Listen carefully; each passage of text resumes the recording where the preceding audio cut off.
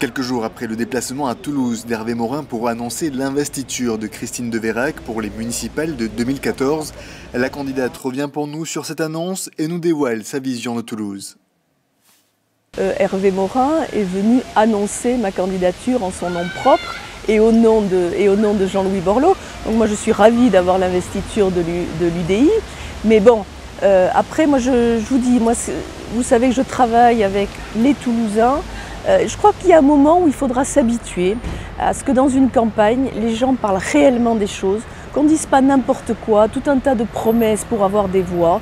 Euh, moi aujourd'hui, je fais un projet pour les Toulousains, comme tout le monde fait un projet pour les Toulousains, mais surtout avec les Toulousains. Et c'est ça qui est important. Et le projet, il viendra des Toulousains, et ça sera notre projet pour Toulouse.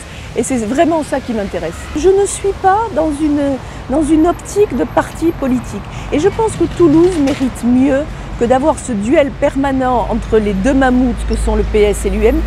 Moi, je suis pas. Un beau matin, je ne me suis pas réveillée en me disant je vais être candidate à la mairie de Toulouse.